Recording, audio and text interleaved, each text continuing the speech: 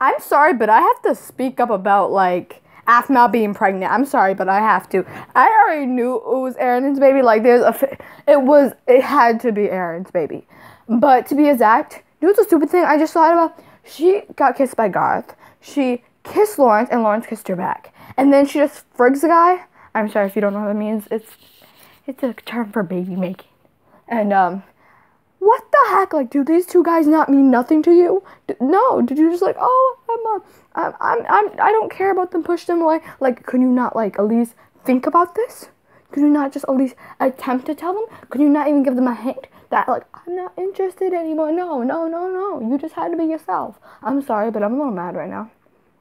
When your OTP fails, well, it didn't fail, but think about this. There's no Aaron. That means there has to be someone to help her with the baby. And it has to be guy. I seriously think where this is gonna end up with Garmau because Laurance is gonna get too mad. I think Garroth would be more understandable. I think Garroth would be more understandable. I think it's gonna end off with Garmau.